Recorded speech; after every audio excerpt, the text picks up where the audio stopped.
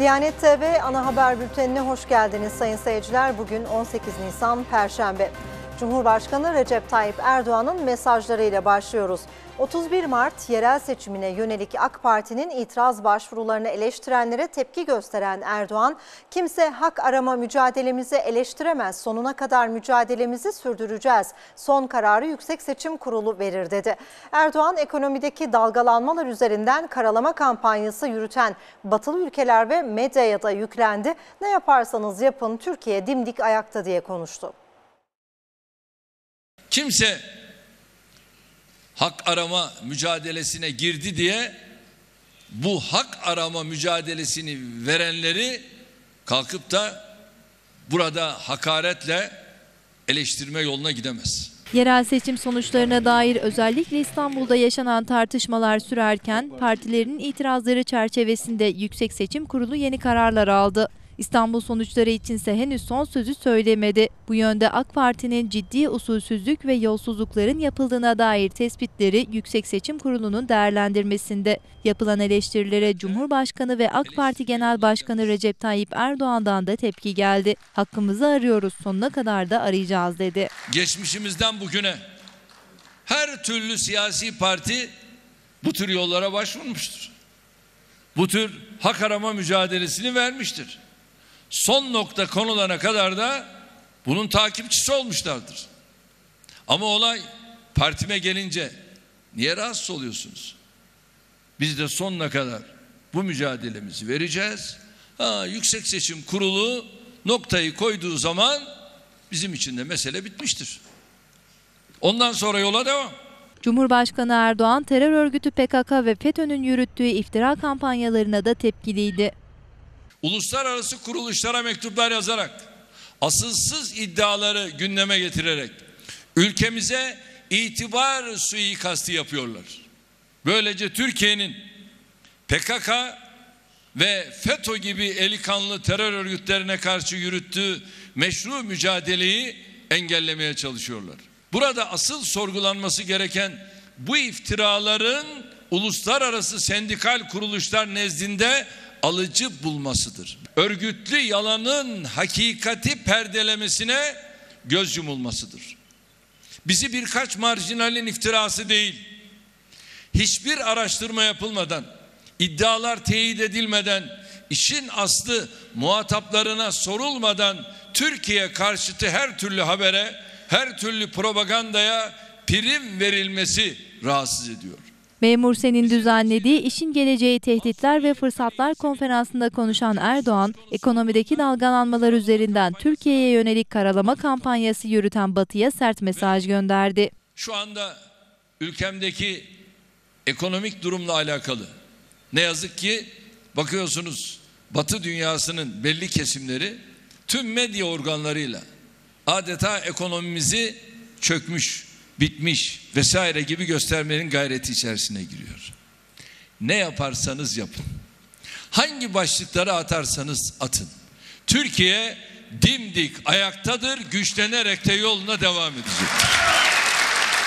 Batı'nın Türkiye karşıtlığının altında bölgemizde ve İslam coğrafyasında yaşananlara, adaletsizliklere karşı ülkemizin takındığı tavrın yattığını belirtti Erdoğan. Suriye, Filistin, Yemen, Mısır meselelerindeki ilkeli duruşumuz yanında yükselen İslam düşmanlığı konusundaki duyarlılığımızın ülkemiz aleyhine yürütülen bu kampanyanın asıl sebebi olduğunun farkındayız. Küresel adaletsizlikler konusunda biz sesimizi yükselttikçe saldırıların da dozu artıyor. Biz terörle mücadele ve mülteciler meselesindeki çifte standarda dikkat çektikçe aleyhimizdeki haberlerin sayısı daha da katlanıyor. Ey Financial Times 4 milyon mülteciye ev sahipliği yapan Türkiye'yi sen tanıdın mı?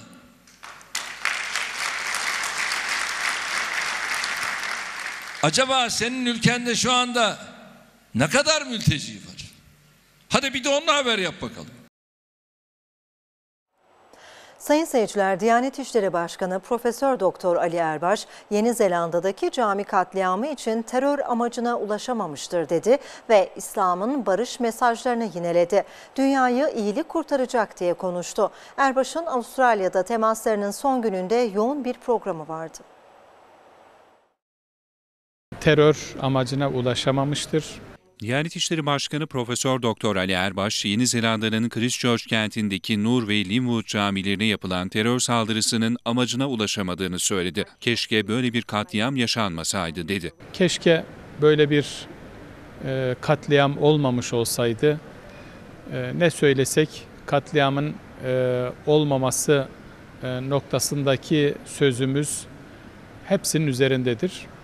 Ancak e, olan bu katliamdan sonra e, Cenab-ı Hakk'ın bazı şerlerde e, bir hayrın çıkacağı e, e, ile ilgili Kur'an-ı Kerim'de bize bildirdiği husus gerçekleşmiştir.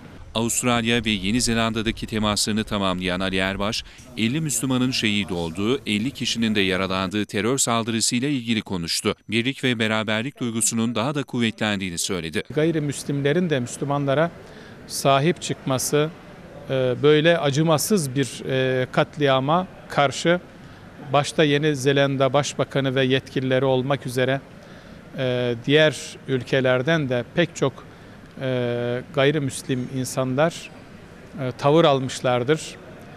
E, camileri ziyaret etmişlerdir. Başkan Erbaş, dünyaya da mesaj verdi. Kötülüğe karşı her zaman iyiliği yayacağız dedi. Kavgadan, e, öldürmekten, katliamdan dünya hiçbir şeyi kazanmaz. Kazanacağı e, hususlar e, barışla gerçekleşe- gerçekleşecek, iyilikle gerçekleşecek, e, kötülüğün ortadan kaldırılmasıyla gerçekleşecek inşallah.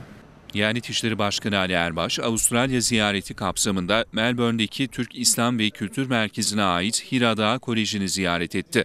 Okul yönetiminden faaliyetler hakkında bilgi aldı. Ardından Keysborough Camii ve Kıbrıs Türklerinin yönetimindeki Sunshine camilerinde Müslümanlarla buluştu. Nasılsınız, iyi misiniz? Ali Erbaş, Yeni Zelanda'daki terör saldırısı sonrasında ailesiyle birlikte camilere giderek Müslümanlara destek olan Melbourne Büyükşehir Belediye Başkanı Sally Kemp'le de görüştü. Arnavut asıllı Müslümanlara ait Charlton Camii'nde ikindi namazını kılan Erbaş, Meadow Heights Camii'nde çiçeklerle karşılandı. Arabadan iner inmez minareleri gördüğüm zaman içim kıpır kıpır etti. Elhamdülillah dedim. Başkan Erbaş, Avustralya'da Türk İslam ve Kültür Merkezlerince onuruna verilen akşam yemeğine de katıldı. Hepsi için rahmet diliyorum. Sayın seyirciler, Amerika Birleşik Devletleri'nde yapılan bir araştırma İslam ve Müslümanlara karşı düşmanca bakışı bir kez daha gözler önüne serdi. Yapılan bir ankete göre her 10 Amerikalıdan 8'i Müslümanların ülkede en fazla ayrımcılığa uğrayan kesim olduğu görüşünde.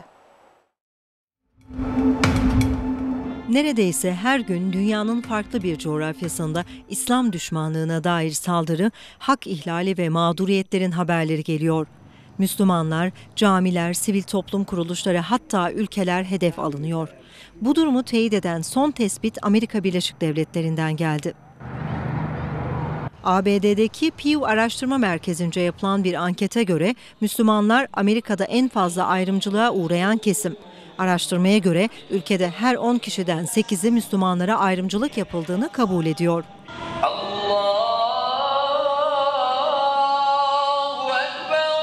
Mart ayında yapılan araştırma çerçevesinde 503 kişiden ev ve cep telefonuyla aranarak görüş alındı.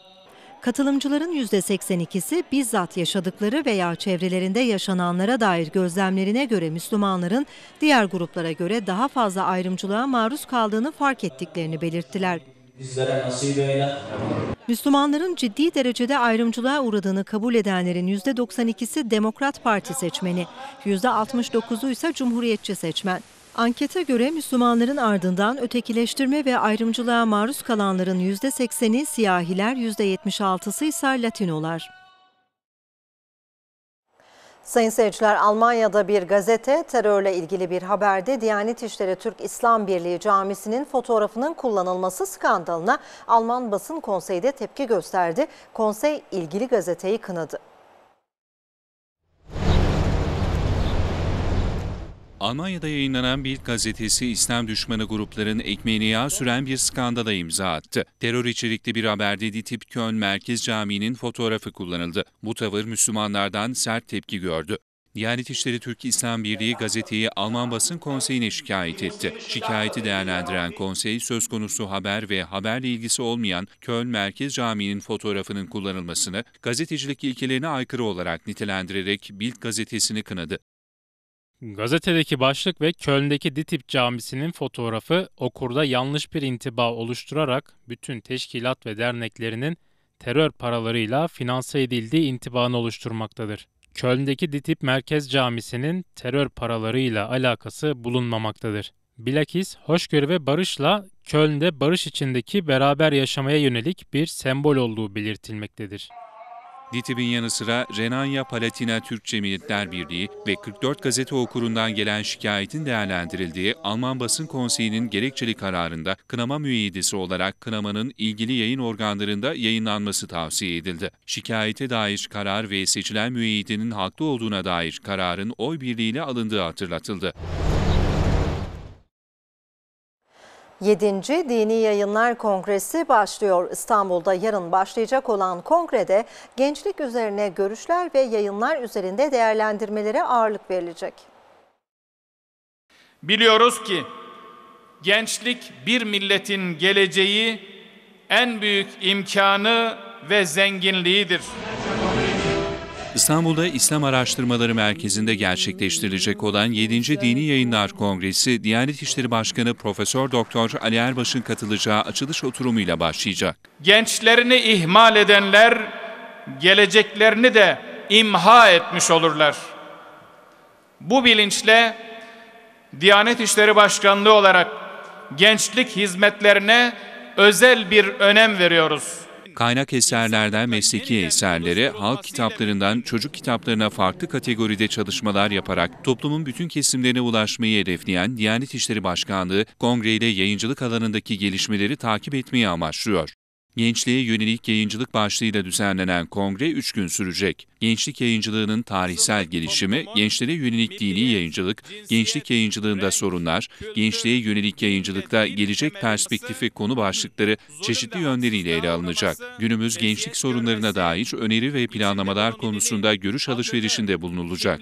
Yayın hizmetleri için kısa, orta ve uzun vadede hedefler belirleyen Diyanet İşleri Başkanlığı yeni projeler üretmek, konunun uzmanlarından istifade etmek, kendi bilgi ve tecrübelerini özel sektörle paylaşarak dini yayıncılık alanındaki gelişmelere katkı sağlamayı da hedefliyor.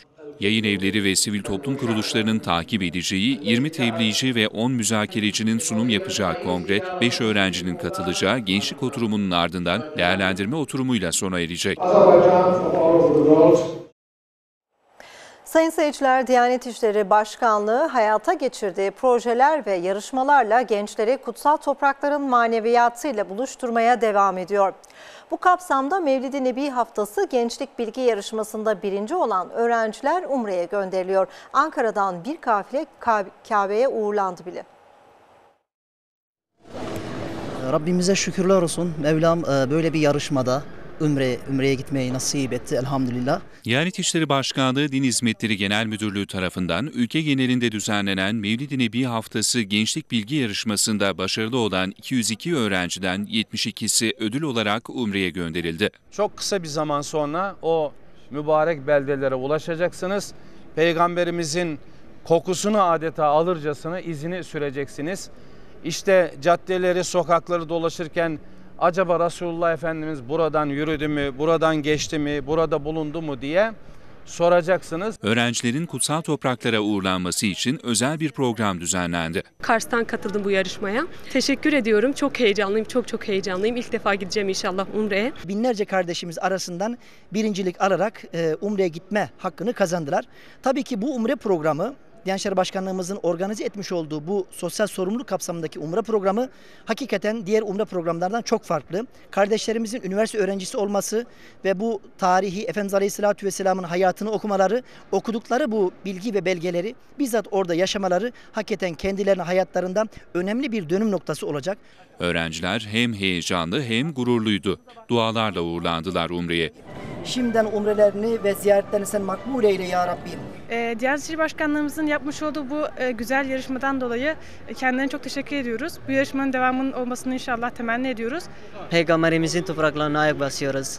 Allah hamdü senalar olsun. Bütün ümmet, Müslüman ümmetine selamlarımı söylüyorum.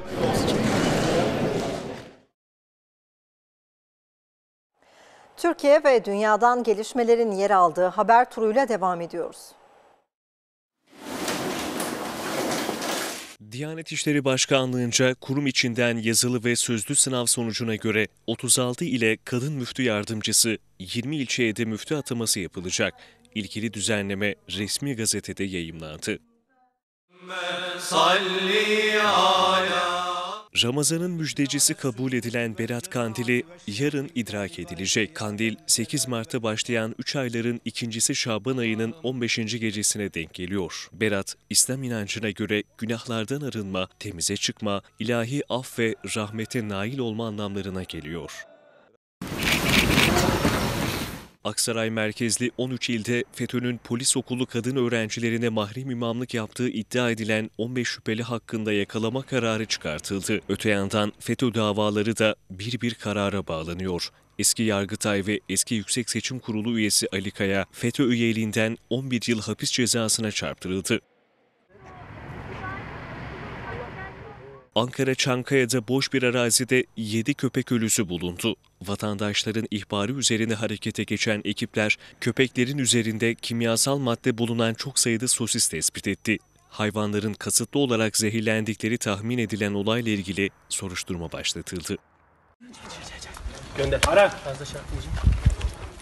Van'ın Tuşba ilçesinde bir kamyonette yapılan aramada 155 kilo 730 gram eroin ele geçirildi. Narkotik köpeği Rexon'un kullanıldığı aramada kamyonetin şasisine gizlenmiş olarak 307 paket halinde ele geçirilen uyuşturucu maddelerle ilgili sürücü gözaltına alındı. Eskişehir'de de bir aracın gizli bölmelerine mıknatıslarla saklanmış 57 kilo 662 gram eroin ele geçirildi.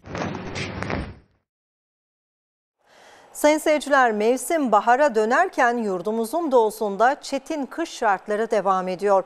Nisan ayının ortasında beyaza bürünen iller var. Hatay'da ise sağanak yağmur sonrası sel yaşandı.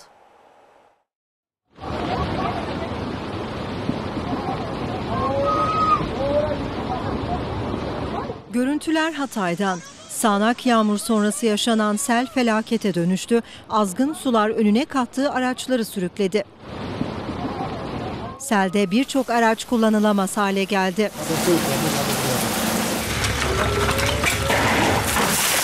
Sel suları ağaçları devirdi, evlerde baskınlara neden oldu. Bölgede hasar tespit çalışması başlatıldı.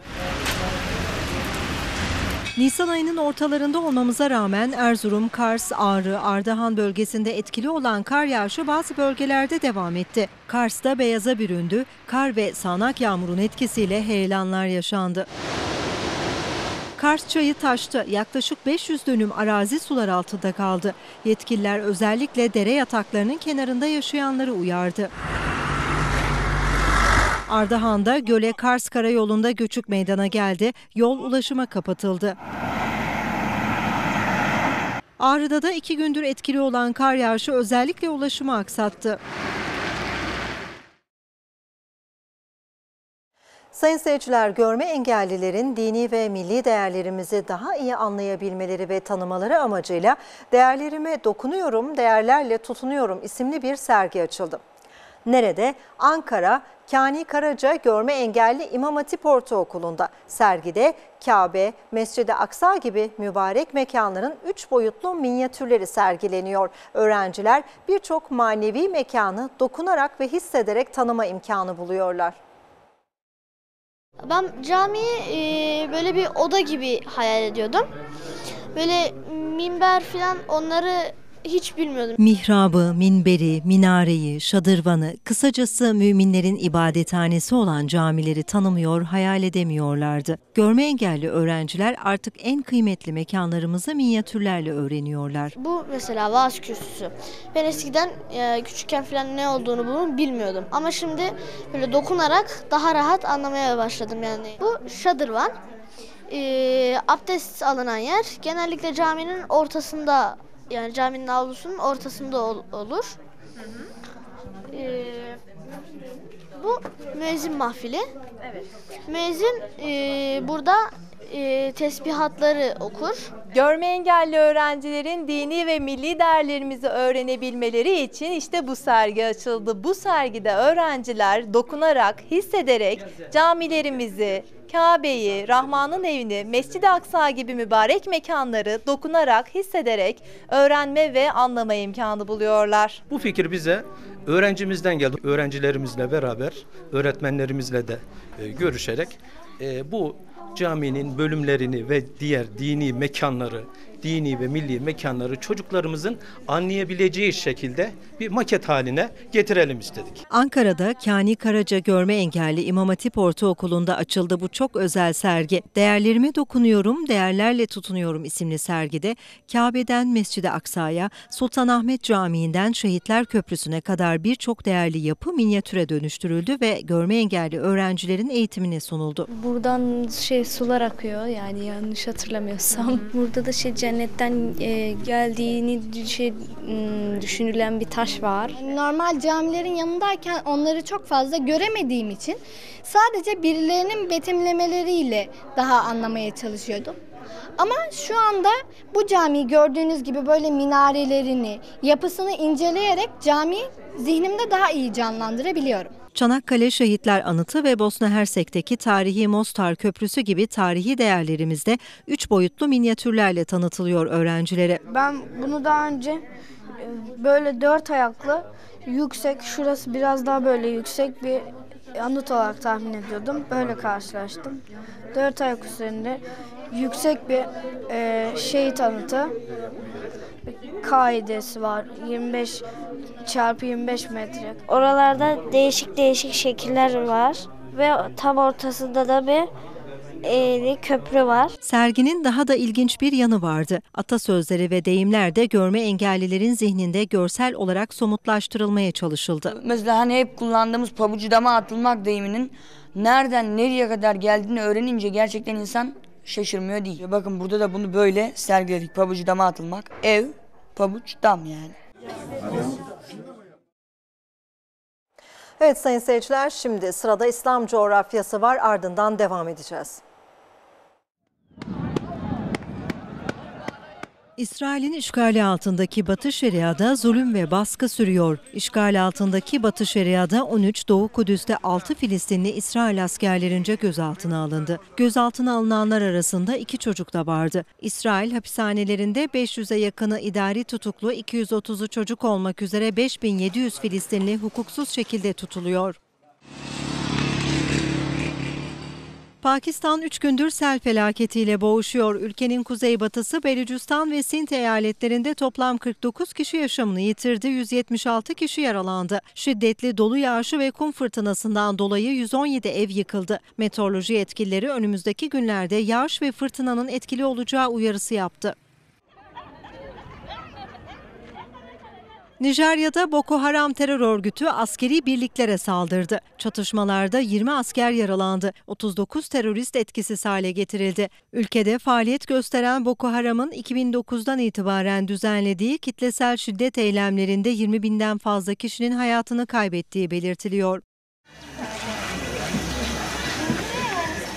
Endonezya'da Cumhurbaşkanlığı ve milletvekilliği seçimi sonuçları netleşti. 192 milyon seçmenin bulunduğu ülkede resmi olmayan sonuçlara göre oyların %55.59'unu alan mevcut devlet başkanı Joko Widodo yeniden seçildi.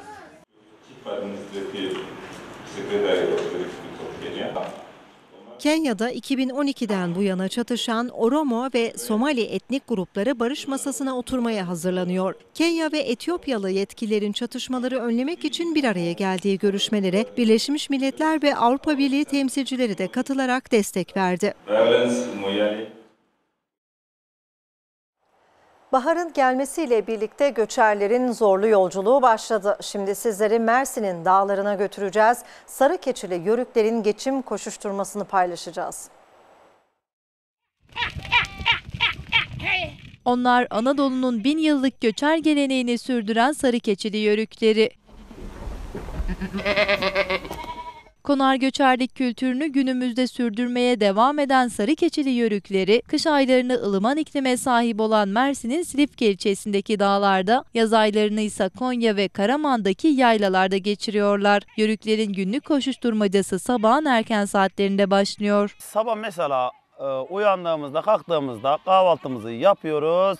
Sabah erken saatlerinde hani malımızın içine çıkıyoruz. Geçimlerini hayvancılıktan sağlayan yörükler gelişen teknolojiye rağmen gelenek ve göreneklerinden vazgeçmiyorlar. Ormanda bol oksijen, doğal beslenme en büyük enerjileri. 5 kişilik Göbüt ailesi güne sabahın ilk ışıklarıyla başlıyor. Odun ateşinde pişirilen gözleme, keçilerden elde edilen süt ve peynirle kahvaltı yapılıyor. Daha sonra kuzuların çayıra salınması için yola çıkılıyor. Yavrularımızı emdiriyoruz. Sağacakları sağıyoruz. Ondan geri tekrar oğlaklarımızı burada bırakıyoruz. Ondan geri hayvanlarımızı yemleyip yaymaya götürüyoruz dağlara. Öğlen olduğunda geliyoruz hani buraya tekrardan. Ondan geri tekrar burada kalıyor işte bir saat veya iki saat yatıyor öğlen saatlerinde. Tekrardan dağlara çıkarıyoruz. Güneşin batmasıyla küçükbaş hayvanlar tekrar çitlere çevrilen alanlara alınıyor. Bu işi yapmak öyle kolay değil. Tüm aile seferber oluyor. Yörükler farklı bir yere göç etmek için bir ay boyunca göç hazırlığı yapıyor. Kadınlar işbirliği halinde keçilerin sütünden elde edilen tereyağı ve peynirleri yol için biriktiriyor. Göçerlerin zorlu göçü kış aylarına kadar devam ediyor. Bu şartlarda yaşam elbette kolay değil. Ancak yörük ailelerin dayanışması hem zorlukları aştırıyor hem de gönülleri hoş tutuyor. Bu yaşam bir başka yaşam bakın. Yani sağlık bizde, mutluluk bizde, huzur bizde. Sevgi bizim topluluğumuzda. Kavga nedir bilmeyiz bakın. Akşamları çadırda yapılan odun ateşinde çay sohbetlerinin tadıysa bir başka oluyor. Dönümü, dönümü Ökçen'le. Ökçen'le dönümü. Evet güne dair haberlerimiz böyleydi. Van'da baharda farklı bir güzelliğe bürünen karların erimeye başlamasıyla daha büyük bir coşkuyla çağlayan Muradiye Şelalesi'nden görüntülerle veda ediyoruz efendim bu akşam. Allah'a emanet olun, hoşçakalın.